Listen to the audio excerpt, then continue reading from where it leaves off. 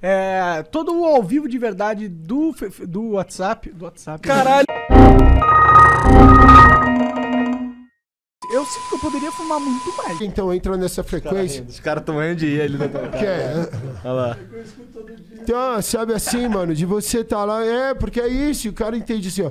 Esse é o problema. Você tem que estar feliz, você tem que estar bem.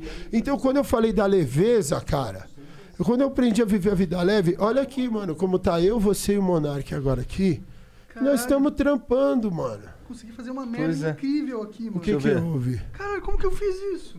Não faz isso, filho da puta. Deixa eu ver, porra. Que eu aprendi, não sei nem como. Prendeu o quê? Tira a mão. Caralho, eu não Ele consegui prendeu tirar o dedo assim, assim. Prendeu a mão. Caralho, ele prendeu a mão no fone. É! Como que eu prendi essa porra? Pior que tá doendo pra caralho. Então tira, daí quer que eu tire? Vou te ajudar. Não, não, não quero que você tire. Cara, o Monaco Você conhece, prender. ô, ô, ô, Igor, você conhece a história do cara que ficou preso na roseira e ele não conseguia sair por causa dos espinhos? Tirei. Aí o cara falou, não dá pra sair, não dá pra sair. O cara, beleza, ele foi lá e meteu fogo na roseira.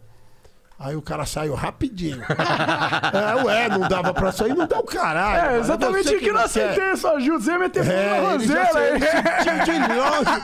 Falei, eu resolvo pra você. Eu tava com fogo na Você resolveu o problema e vai causar 20 Você viu, como ele, outros. você viu como resolveu o problema rapidinho? Eu não tava entendendo. Você, você não falou que tinha te machucado. Tu falou que eu pensei que tivesse arrebentado o Eu aqui, fio, tá pra alguma tirar a coisa. mão, que você conseguiu tirar a mão. mano, É, pô, cara, não, eu tô olhando ali, eu falei, cara, também não Olha aqui, ó. eu achei que você tava orando. Caralho, mano. Do nada, mano.